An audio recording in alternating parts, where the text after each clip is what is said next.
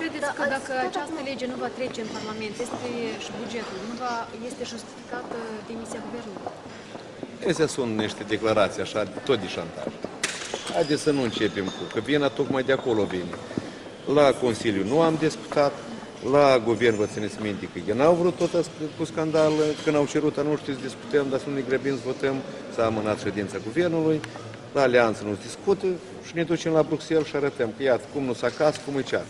Dar păi nu fă, nu arunca aici bomba și du-te ca să explodeze când ești la Bruxelles, nu?